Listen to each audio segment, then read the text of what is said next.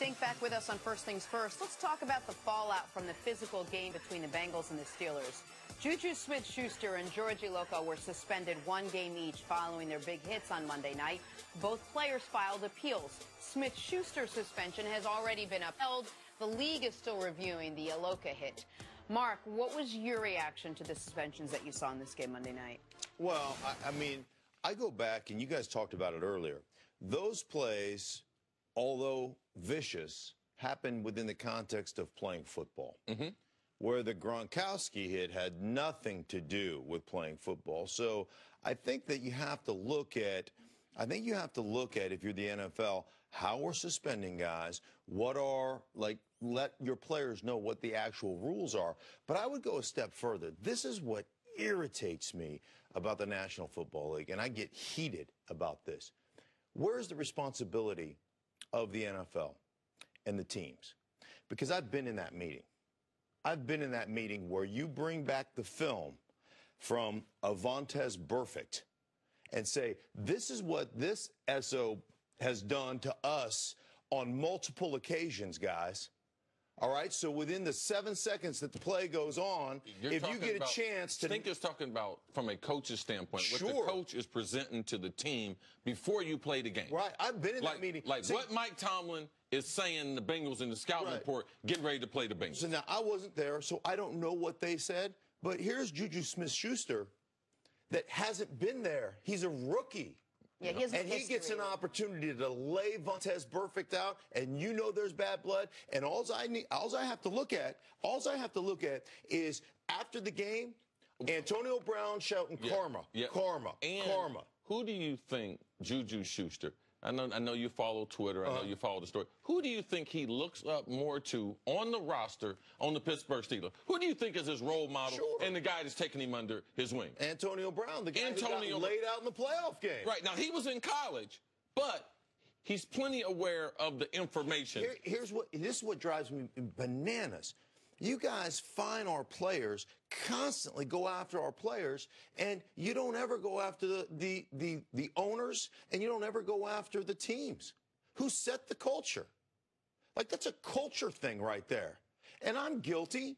Should I play uh, in an era with you that if I got a chance to try to break your jaw on a peelback block, I'm taking it. Now, it wasn't illegal back then, but I knew when we threw a pick I better put my head on a swivel because the guy I've been holding for the whole game is going to try to break my jaw. He's going to try to knock my teeth out. Well, and I, I just, get that. I want the audience to know when, like, when Stink says break your jaw, the reason that block is illegal is because in a Steelers Bengals game almost a decade ago, Hines Ward broke Derek Rivers' jaw on a block just like that. Like that is literally what happened, and that's why they changed the rules. So when Stink says mm-hmm. that's what guys were trying to do, right? That is but, like I mean that what that was part and parcel of go, the game. Go back a few weeks ago in that Seattle Seahawks Rivers, game. Rivers, yeah, Keith Rivers. When, when in that Seattle Seahawks game, when they send Russell Wilson off the field, and and maybe I've missed it, but they send him off the field. He goes to the concussion evaluation tent. They pull the tent up, and he just walks out without ever getting evaluated and goes back on the field.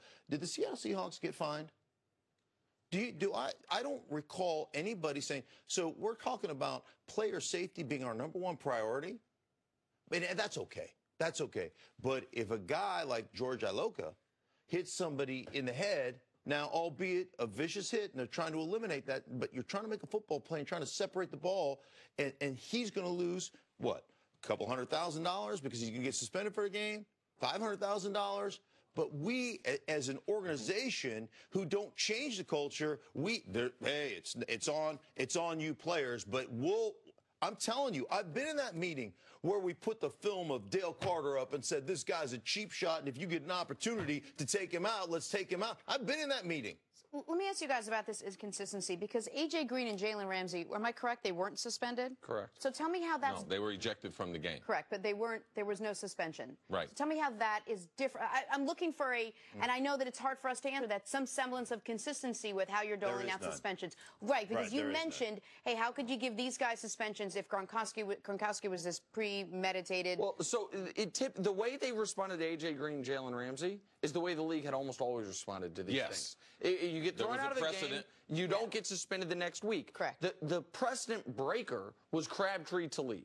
And it was for a lot of reasons because of their history, Yes. because of how violent it was, because of how elongated Right. it So was. if this happened That's why now, they, these guys would be That's why they came down hard on them. But in the appeal, it was reduced from two games to one game. So now we get back into some physical contact. So now fighting on the field and game action, we're trying to equate them to being the same. That's what, what hurt them was the appeal last week. Yep. Because in the fighting instance, these suspensions, even Juju Schuster, I thought he got a bad deal because he was involved in the game. But the Gronk suspension them, they would look more penal compared to the fight if they had two games. Right. But now we're trying to look at everything as if everyone's speeding. You know, everyone's going over the speed limit. Everyone's getting, well, actually, one guy was going 120 in the school zone compared to someone going 75 on a highway. Th- That's the listen. I thought the Gronk play was the dirtiest play of this NFL season because it wasn't a play. Sure. It was it was an assault And on a guy I- laying and prone I on the will ground. give you that. And so,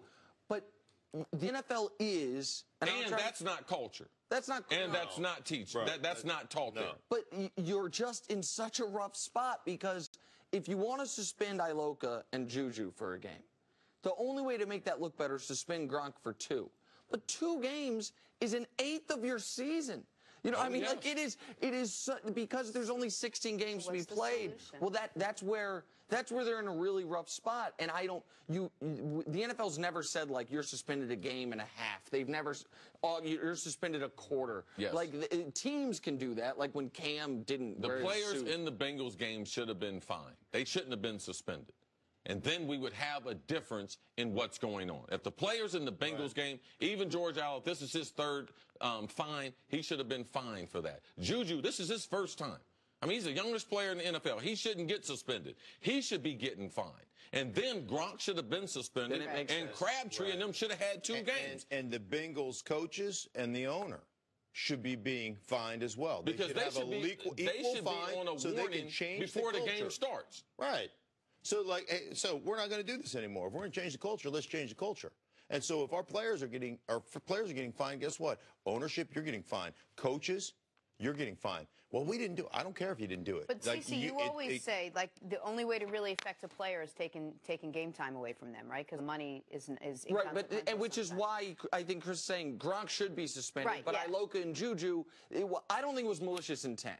I think those were No, football the- plays that got a little above above. Or, Right, unless they're repeat offenders, Mm-hmm. all right, then that's when you take them off the field as far as a, a unprotected um, wide receiver or a defenseless Right. player. But it, hmm, they're in a tough spot.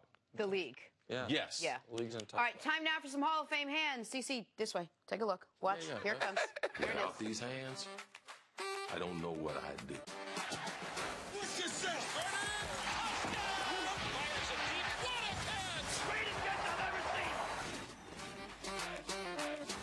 This is Jace White of Kennesaw State with the hands on defense. Let's check it out. Oh, They got beautiful uh, facilities at Kennesaw State. Been there. My daughter was playing in a big tournament there. Little nice grab there. Now the only way this defender now this is this is an accident right here. This is not Hall of Fame hands. This is just called being in the right spot at the right time. Because defenders, there's two reasons why they play defense. For one, you don't have to be as smart to play on defense. And that's true. And typically they can't catch if they play in the I defense agree, with, secondary. I agree with both those statements. Yes, course you would. Because if you were if you were could catch the ball, you'd be a wide receiver. There's more glamour and everything. You said you've been to Kennesaw State. Yes. Facilities aren't the only beautiful thing at Kennesaw State. Uh, what else? Outside Atlanta? What, what, what I they don't know. got? I'm just landscaping They got is something else there? What else they got? tremendous. Like I love. the landscaping program. Who's from Yeah. Kennesaw State? I'm just making an observation Okay, about no one of. America's great learned institutions. That's all. No, shout I'm gonna out. go ahead and say that's not what you're doing, Nick. Mark, thank you so much as Oh, always for hanging pleasure. out with us. see you. Absolutely Glad to have love you having back. you. Yes. Uh, coming up, does LeVar Ball actually have the answers for the Lakers' problems? Because he certainly thinks he does. I'm going to say no. First things first.